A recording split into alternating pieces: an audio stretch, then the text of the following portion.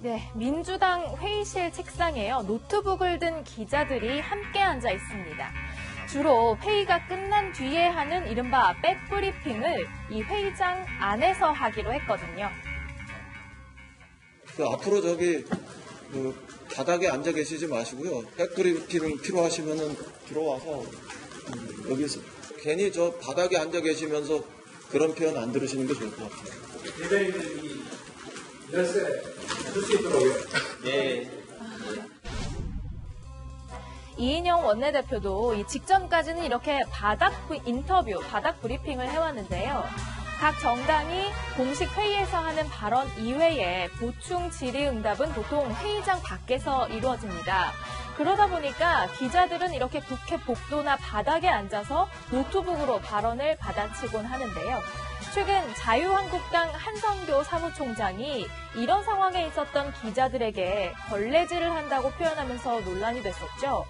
취재 환경이 열악한 점을 얘기한 것일 뿐 비하할 의도는 없었다고 해명한 뒤에 한국당도 조만간 안에서 하는 백브리핑을 검토 중이라고 밝혔는데요. 이 걸레질 발언 논란 이후 민주당을 시작으로 국회 브리핑 풍경이 달라지고 있습니다. 네, 바른미래당 회의 도중인데요. 손학규 대표의 얼굴이 굉장히 어두워졌습니다. 오늘 회의에서는 손학규 대표와 오신환 원내대표가 정부의 소득주도 성장을 비판하면서 모처럼 한 목소리를 냈지만 최고위원들은 또 싸웠습니다.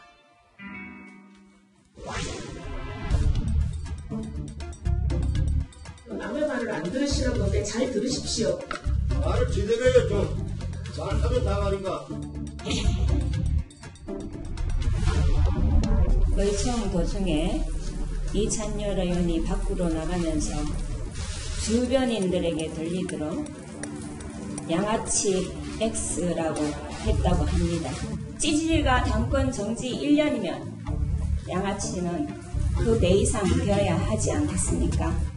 네, 여러분들께 민망합니다 아, 그 항공대로 전합니다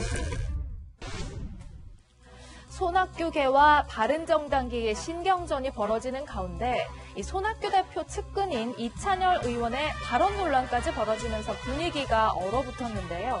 여기에 손학규 대표가 임명한 문병호 최고위원은 유승민 의원이 최근 대학 강연에서 손학규 대표 체제가 바른미래당 정체성을 훼손한다 이렇게 발언했다고 주장하면서 오늘 회의에서도 설전이 벌어졌습니다. 결국 손 대표가 나서서 민망하다, 참아달라 이렇게 중재한 뒤에 비공개 회의로 전환됐는데요.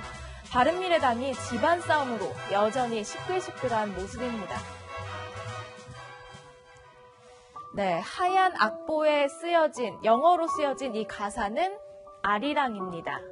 여기는 헝가리 다뉴브강 머르기트 다리 위인데요. 엄마를 따라 나온 아이도 또 어른들도 악보에 나와 있는 대로 한자 한자 이렇게 노래를 불렀습니다.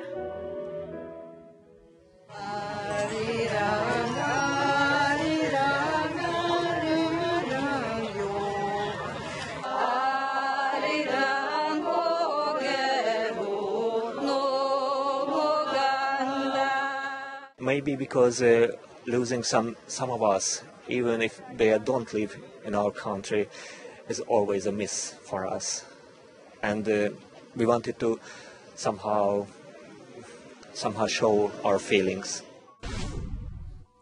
자, 이렇게 유람선 사고 현장에서는 많은 헝가리인들의 추모 행렬이 이어졌습니다. 한편 실종자 발견 소식도 잇따라 들려오고 있는데요. 20대와 60대 한국인 남성을 포함해서 지난 이틀간 모두 다섯 구의 시신이 수습됐습니다. 오늘부터는 본격적으로 인양 준비도 시작된다고 하는데요. 아무쪼록 안전하고 신속하게 수색 작업이 진행됐으면 하는 바람입니다. 지금까지 순간 포착이었습니다.